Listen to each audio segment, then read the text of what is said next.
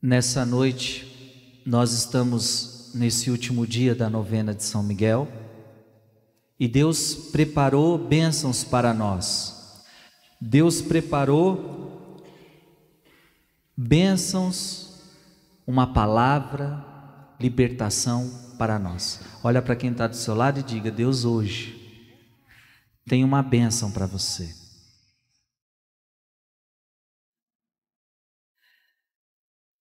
Nós hoje iremos falar sobre o tema Vencendo a ansiedade, o medo, a solidão e a depressão. Será que você sofre de algum desses males? Tem gente ansiosa aí?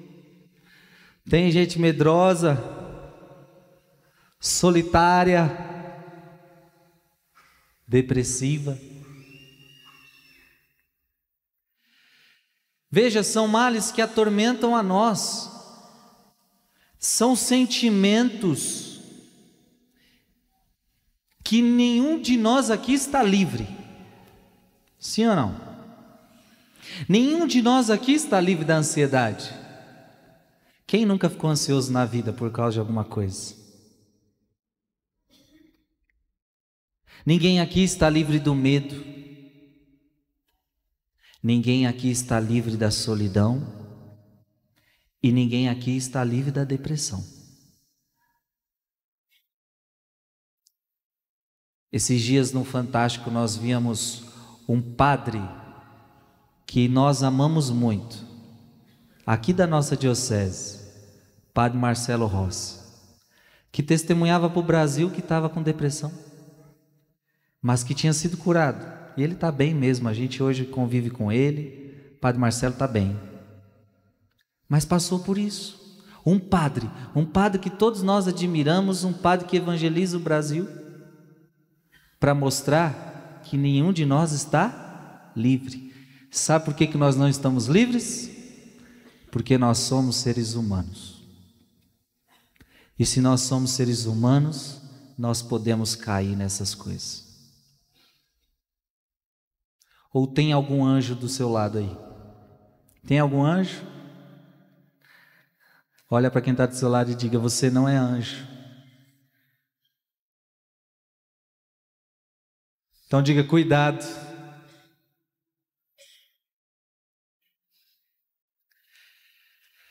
Interessante, muitas vezes o padre aqui ele prega sobre pecados. Sabe, o padre fala que você tem que deixar por causa de Jesus, e o pecado a gente tem que deixar por amor a Deus, a gente tem que deixar por causa de Jesus. Mas quando nós tratamos de ansiedade, medo, solidão, depressão, nós não estamos tratando de pecados, mas nós estamos tratando de sentimentos que atrapalham o teu caminhar. Que talvez você os tenha por pecados, isso também pode acontecer, mas eu poderia que dizer que nem sempre é por causa de pecados que você vive esses males. E eu poderia dizer que tudo que eu vou dizer aqui tem o seu lado positivo e o seu lado negativo. Por exemplo, uma pessoa que tem medo. Ora, se a gente não tivesse medo, gente, a gente ia fazer loucuras. É porque a gente tem medo que a gente dirige o carro mais devagar. É porque a gente tem medo é que a gente não faz muita loucura na vida. Se a gente não tivesse medo, talvez muito mais gente morreria. O medo, o medo com equilíbrio é bom. Eu quero, eu quero ajudar a gente a pensar e a meditar essas coisas quando essas coisas extrapolam os limites. E é talvez o que você esteja vivendo. E o primeiro sentimento que eu quero tratar aqui é o de ansiedade. Pessoas ansiosas. O que é uma pessoa ansiosa? É aquela pessoa que ela, ela é inquieta, Hoje, nós estamos vivendo hoje, a pessoa está aqui na missa de quinta, mas ela já está pensando no, na manhã, já está pensando no, no que vai acontecer, e a pessoa começa a ficar inquieta e começa a inquietar os outros. E a pessoa ansiosa, ela geralmente é angustiada, porque ela, ela, o ansioso geralmente é angustiado. E aí, por causa dessa ansiedade, você desconta nas pessoas. Tem gente que para matar a ansiedade começa a comer igual um. E come, e come, e come, e come. Conhece gente assim?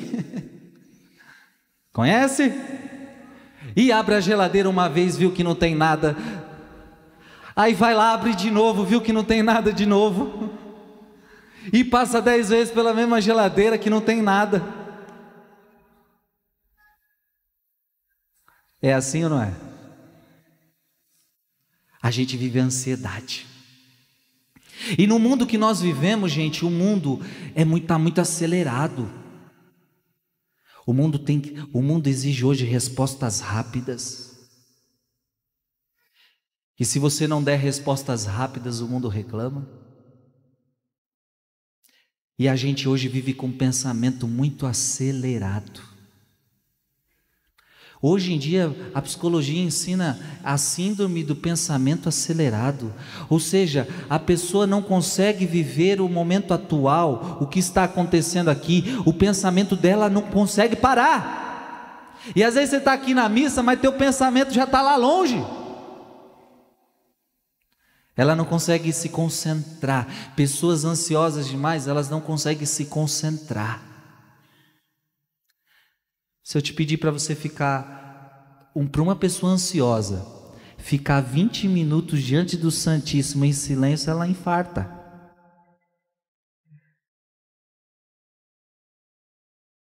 A pessoa ansiosa, então, tem umas que tem que comer, outras tem que ficar falando, tem que falar, tem que falar, tem que falar.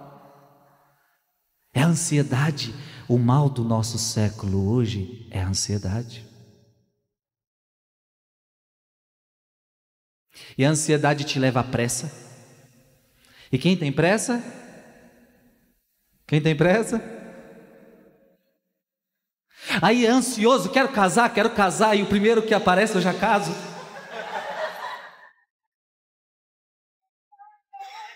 Tem gente fazendo isso ou não tem? É ansiosa, é ansiosa com tudo, para tudo, e se dá mal, quebra a cara, porque vai com pressa, não tem paciência, está com ansiedade. E a pessoa que tem muita ansiedade, o resultado disso é porque ela olha muito para os problemas, ela não olha, em vez de ela olhar para Deus, ela olha demais para os seus problemas. A pessoa ansiosa é a pessoa que não está com os olhos em Deus, ela está com os olhos nos seus problemas. É as pessoas que ficam dizendo para Deus o tanto de problema que ela tem, em vez de dizer para os problemas o tamanho do Deus que você tem. Em vez de dizer para os seus problemas que Deus é maior, a pessoa que é ansiosa, ela está com os olhos nos problemas. A ansiedade também podemos dizer que ela vem de relacionamentos quebrados.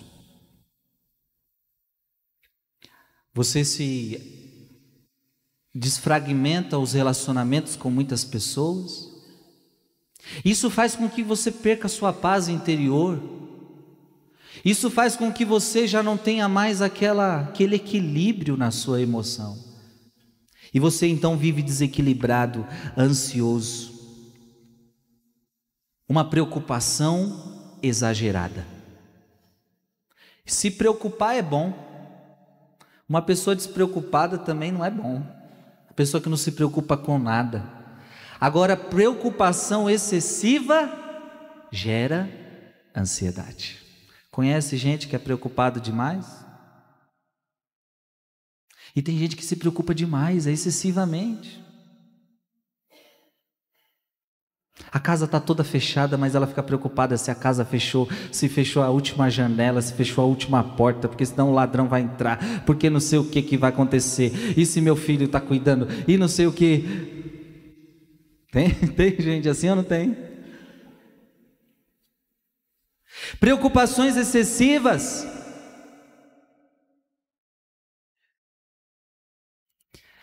Tem gente que tem ansiedade por causa do passado, pelo que aconteceu.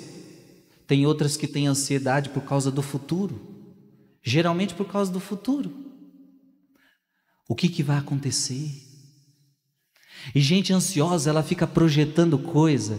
Gente ansiosa, ela fica fazer, ela fica projetando coisas que nem aconteceram.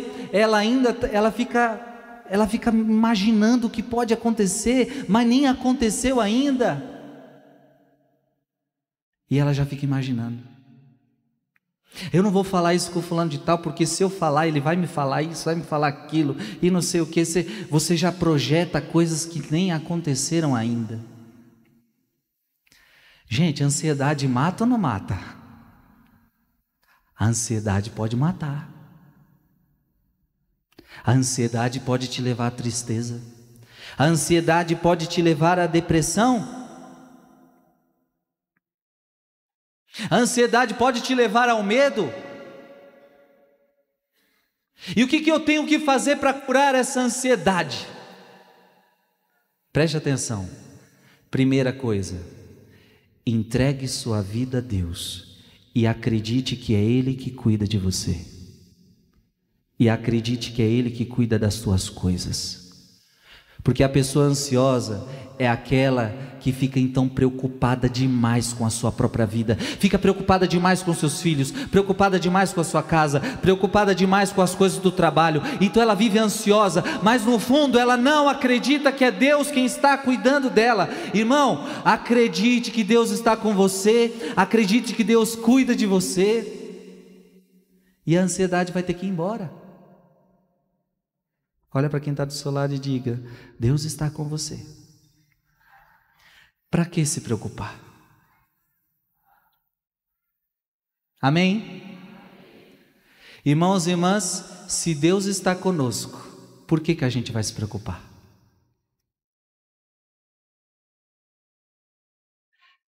Jesus fala no seu evangelho: olha os pássaros, eles não trabalham, mas eu cuido dos pássaros quanto mais eu vou cuidar de vocês que são meus filhos. Irmãos e irmãs, se Deus cuida de pássaros, Deus vai deixar a gente na mão? Vai deixar a gente na mão? E diga comigo então: o meu Deus não é um Deus que vai me deixar na mão, porque o meu Deus é um Deus que cuida de mim. Aplauda este Deus.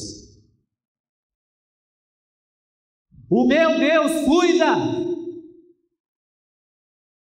O meu Deus cuida de mim. Portanto, entrega sua vida a Ele, filho.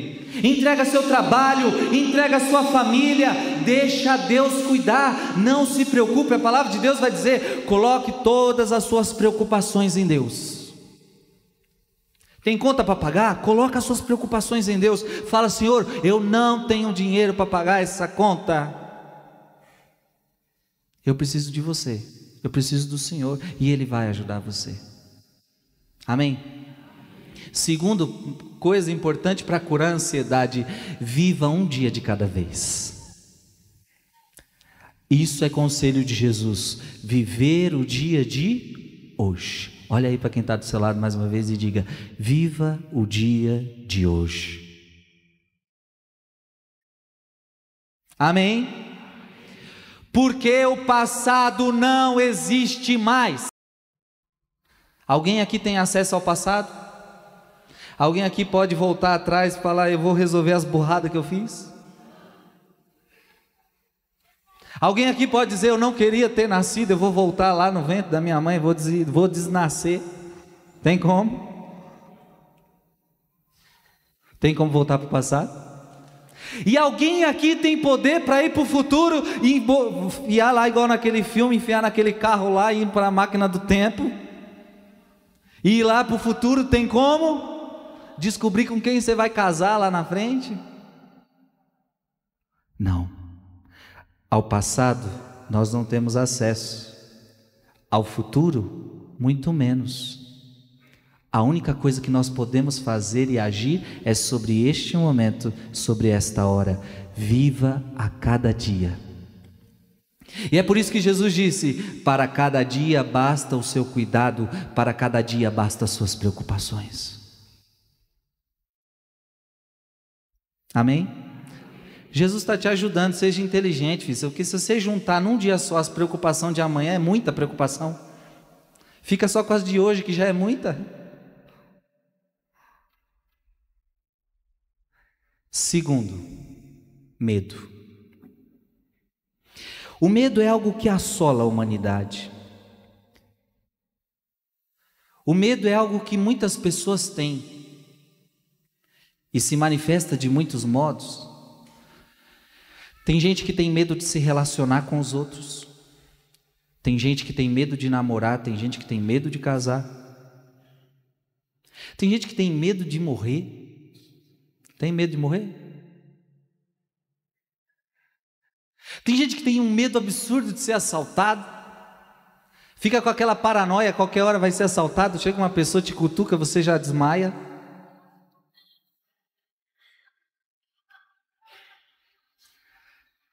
Tem gente que tem medo de uma baratinha, de um pernilongo. É a zica.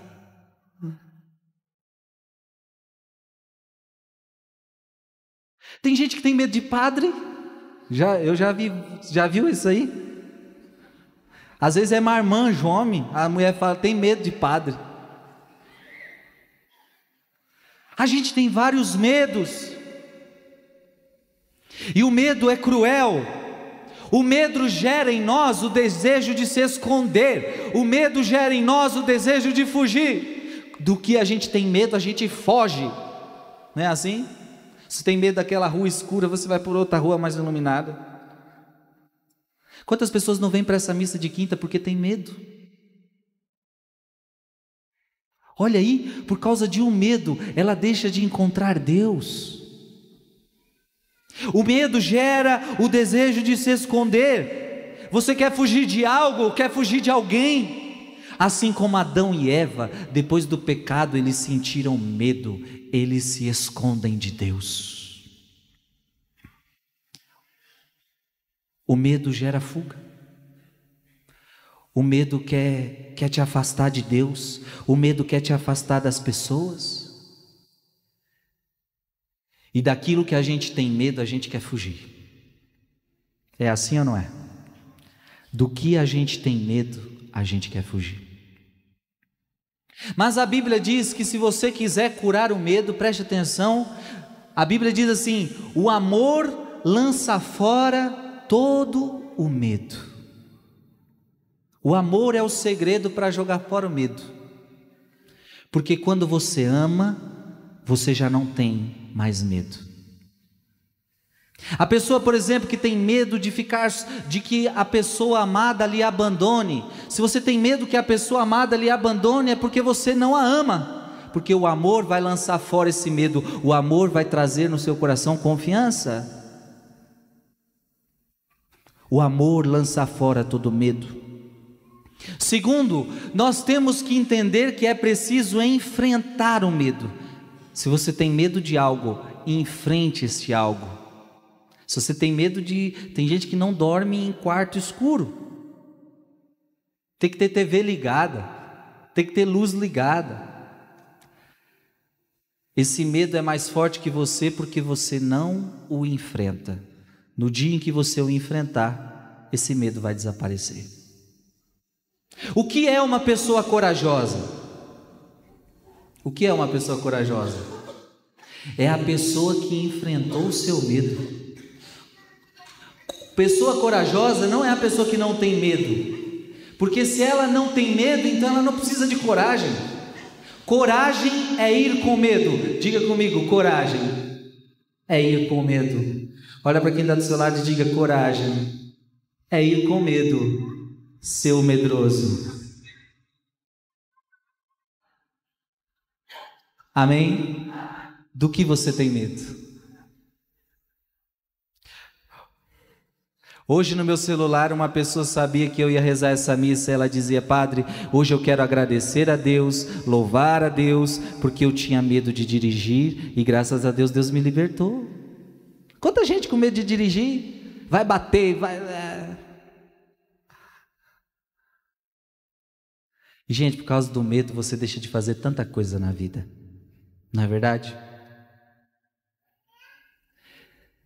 Se Deus está comigo, a quem eu temerei? Se Deus está conosco, a quem nós vamos temer, irmãos e irmãs? Se Deus é por nós, quem será contra nós? Deus está conosco, nós não temos nada a temer. Ah, eu tenho medo de macumba, eu tenho medo disso, eu tenho medo do mal, porque o prato começou a mexer, Frei. O negócio caiu e não sei o que, aconteceu na minha casa. Se Deus está com você, meu querido, você não deve ter medo de nada.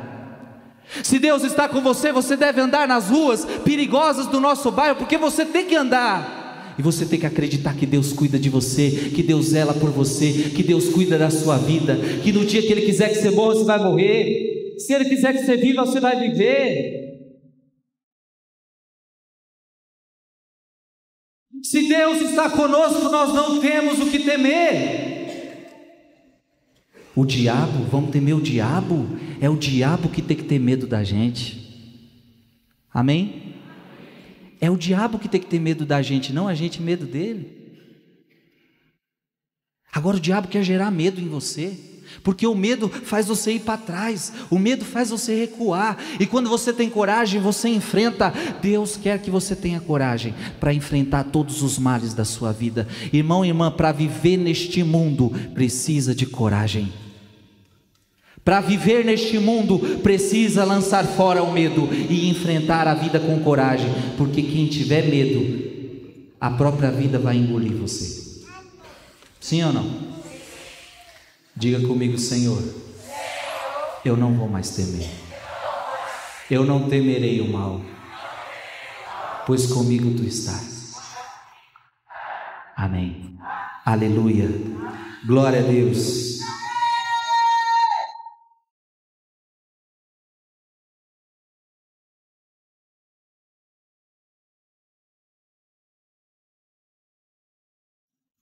Solidão.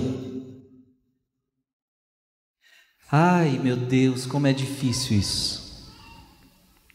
Solidão, aquele sentimento de vazio, aquele sentimento de isolamento, aquele sentimento de abandono, é aquele sentimento onde eu estou rodeado de muitas pessoas, mas parece que ninguém está comigo. Já sentiu alguma vez esse sentimento?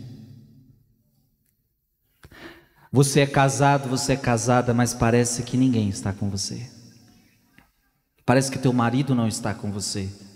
Parece que teus filhos não estão com você. Parece que a tua família não está com você. Parece que você não tem amigos. São pessoas solitárias.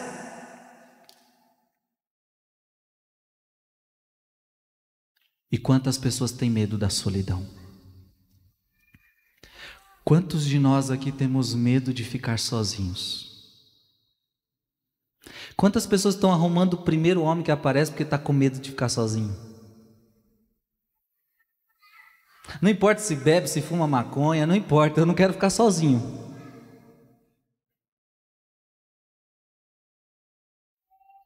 Porque a solidão assusta. O medo de ficar só é grande. Aliás, é a Bíblia, no livro do Eclesiásticos, vai nos ensinar que quem vive sozinho, distante de tudo e de todos, tende a fracassar com mais facilidade.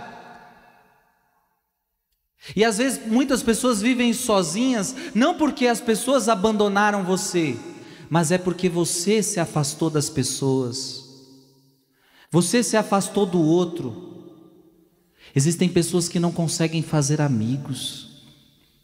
Gente, uma pessoa que não tem amigo é uma pessoa infeliz. Quem são seus amigos? Amigo é aquele que é pau para toda obra. E a Bíblia diz que de mil, de mil, você só tem um. que é teu amigo. Talvez tenha uns aqui que está falando, eu não tenho nenhum amigo, Frei. Eu sou uma pessoa sozinha, solitária. A solidão muitas vezes também revela a nossa fraqueza. Revela a nossa fraqueza no relacionamento com o outro. Meu Deus, quantas pessoas são tímidas demais, não conseguem se relacionar com o outro e vive fechada, fechada, fechada. Interessante, hoje nós estamos na era da comunicação. Nunca se viu tantas redes sociais para a gente se comunicar um com os outros.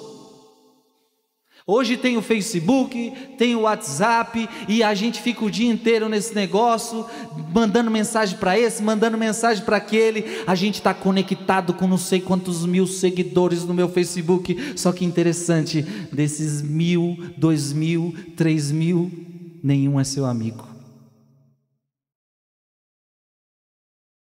A gente vive a era da tecnologia, onde serve para a gente se comunicar, mas nunca como hoje o ser humano está se sentindo tão sozinho. O padre está mentindo?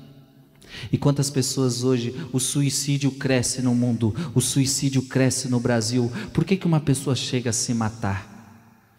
Porque ela não tem ninguém por ela. A pessoa que se sente só é a pessoa que ela não se sente ninguém para ela mesma e ninguém para o outro. Irmão, irmã, se você não é importante para ninguém, isso revela que você tem solidão, que você está sozinho. Porque na vida é importante a gente fazer importância na vida do outro. Amém? Primeiro remédio para curar, curar solidão. Você precisa acreditar que Deus está com você. Sabe, irmão, todos podem te abandonar. A Bíblia chega a dizer: pode um pai, pode uma mãe abandonar um filho? Pode a mãe abandonar um filho? Pode. A gente já viu tantas mães que deixam seus filhos nas ruas já vimos mães que deixaram seus filhos na lata do lixo, e a Bíblia diz: se, o, se tua mãe, se teu pai te abandonar, Deus jamais vai abandonar você. Irmãos e irmãs, as pessoas podem te abandonar. Você pode abandonar você mesmo. Agora eu tenho e posso te dizer com toda certeza do mundo: Deus nunca vai abandonar você. E ah, geralmente, por que, que as pessoas nos abandonam? Porque a gente erra, porque talvez a gente não é a pessoa mais perfeita do mundo.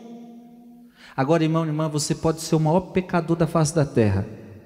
Você pode ter feito as piores burradas na vida, não é por causa disso que Deus vai te abandonar. Você pode ser o maior pecador, Deus sempre estará com você. Sim ou não?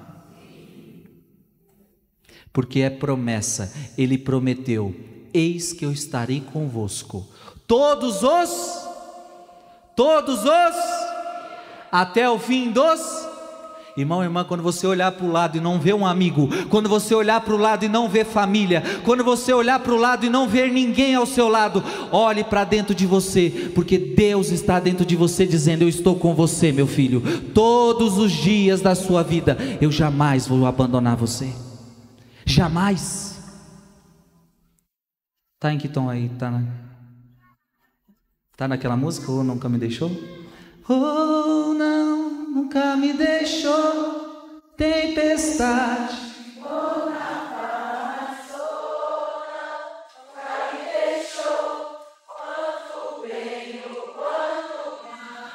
Oh, não, nunca me deixou ao Senhor. Canta isso mais uma vez. Ele nunca me deixou. Oh, não, nunca me deixou na tempestade.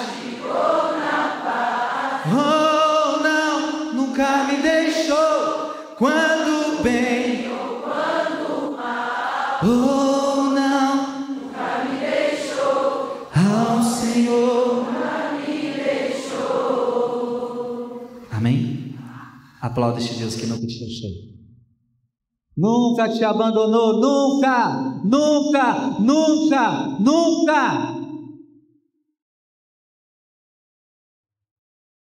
Você pode deixar Deus, Deus nunca vai deixar você. Amém? Por fim, irmãos, vamos falar da depressão.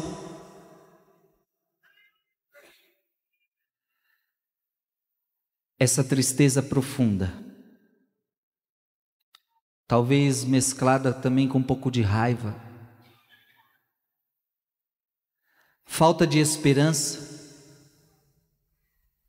fadiga, Aquela pessoa, e nós sabemos que a pessoa geralmente que tem depressão, ela não quer sair de casa, parece que ela está cansada para tudo, ela já não tem mais esperança de viver, ela não tem esperança de trabalhar, ela não vê esperança no hoje, ela não vê esperança no amanhã, ela não vê esperança na família, ela não vê esperança no mundo, ela não vê esperança mais em nada, por isso ela se tranca no quarto, ela se tranca no seu mundo, porque ela já não quer nem mais viver, ela já não acredita nem nela mesma. É terrível, não é? Conhece alguém que tem depressão? Vai rezar por ela hoje. Talvez a pessoa que está em depressão, muitas delas, elas se sentem inúteis.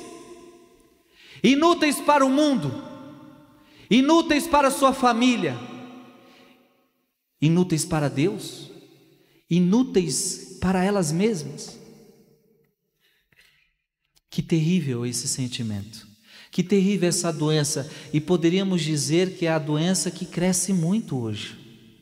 Cresce nos nossos dias, jovens, adultos, idosos. Quantos idosos chegam ao final da vida amargurados, depressivos, ressentidos? Sim ou não?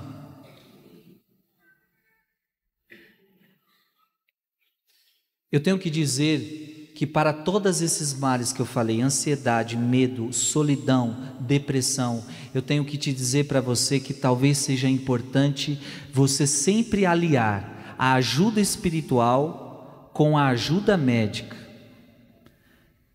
Deus pode curar? Pode, mas é importante para muitos desses casos você também procurar um bom médico.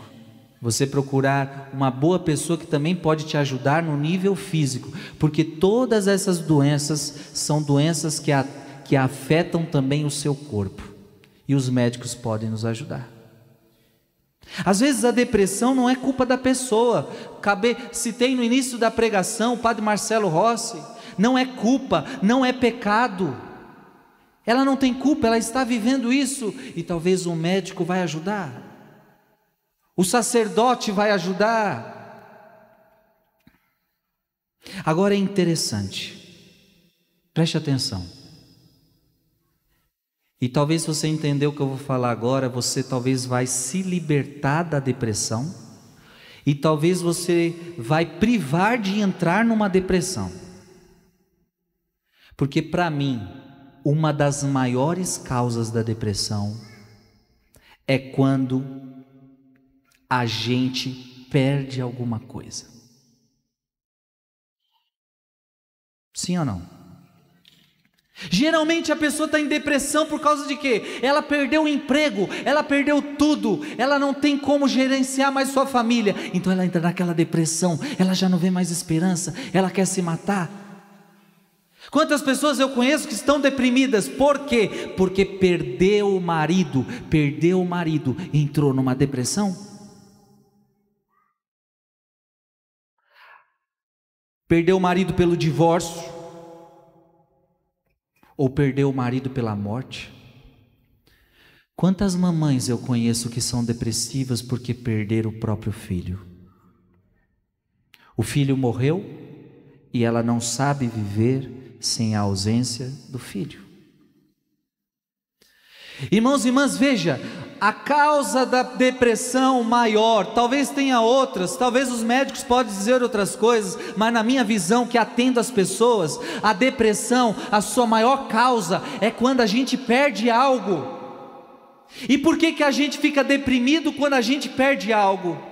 Sabe por quê? Porque a gente se apoiou nessas coisas, a gente se apoiou no trabalho, a gente se apoiou nas pessoas. Irmão e irmã, a Bíblia já diz que nós não devemos nos apoiar em nada e em ninguém, porque tudo passa. Hoje é dia de Teresa. E um dos lemas maiores de Teresa de Jesus é: tudo passa. Se você se apega em algo que passa, você vai, vai chorar. Porque, desculpa dizer, as pessoas passam, o teu marido passa, os teus filhos passam, o teu trabalho passa, a tua casa passa, os bens que você adquire passa.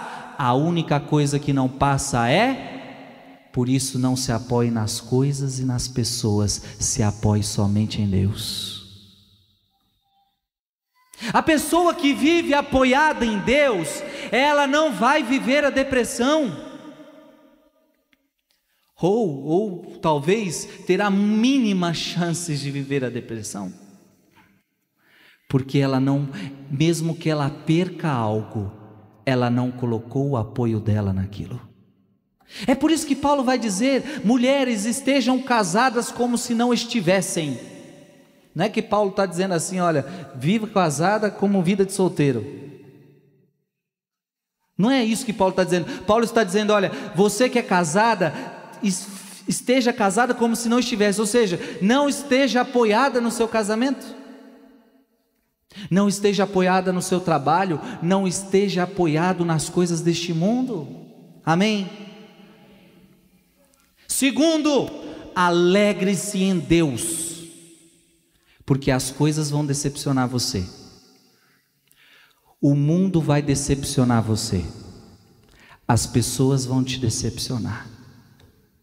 Sabe aquela pessoa que você mais ama e que você mais tem confiança? Essa pessoa pode decepcionar você. E aí, quando ela te decepcionar, você vai chorar? Você vai entrar em depressão? A Bíblia nunca ensinou que as tuas alegrias deveriam estar nas pessoas, a tua alegria deve estar em Deus. Diga comigo: o meu apoio é Deus, a minha alegria é Deus. Aleluia, glória a Deus. Você entendeu? Em outras palavras, aquele que estiver em Deus, vai suportar todas as contrariedades da vida. Você entende porque Deus é tão importante, tão necessário na nossa vida? Irmãos e irmãs, sem Deus a gente morre, sem Deus a gente não aguenta. É por isso que o mundo está morrendo. Os consultórios de psiquiatras e psicólogos estão cheios, estão lotados e eles estão engordando o bolsinho deles, porque cada dia mais as pessoas estão ansiosas, estão com medo, estão com solidão, estão com depressão e muitas vezes eles dão remédio, a pessoa não cura e ela fica meses, meses, meses, anos, anos e anos, porque o médico te dá às vezes o remédio, o psicólogo te dá um, um conselho, mas ele muitas vezes não te dá Deus e só Deus pode curar você. Só Deus pode curar a pessoa daquela família, aquela pessoa que da sua família que está sofrendo esses males. Deus é o melhor remédio para tudo. Olha para quem está do seu lado e diga: Deus é o teu remédio. Diga para ele: Você entendeu? Fala para ele: Toma esse comprimido todos os dias. Deus. E você vai ficar bom. Você vai ficar bem. Amém? Aplaude nosso Deus.